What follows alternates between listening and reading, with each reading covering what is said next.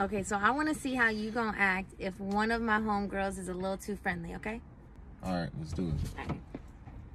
Romel, oh my gosh, it's been so long. Rebecca, since what's seen up, man? Good to see. you. I haven't seen you in a minute. What's what's going on? Okay, see you- now this is the first problem. What? Why is my hand still allowed to be on your arm this long? I, If my homegirl is touching you, she gets about one to one and a half, maybe one and a half seconds. Hey, you're Romel Paris's friend, right? Rebecca, yeah. How you? What's up? Okay, see, no. Why didn't you correct her?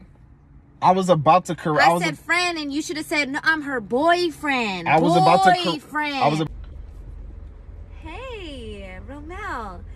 You're Paris's friend, right? Nope, I'm her man. Good job, baby. Good job. Not doing that. Mm-mm. Was that good?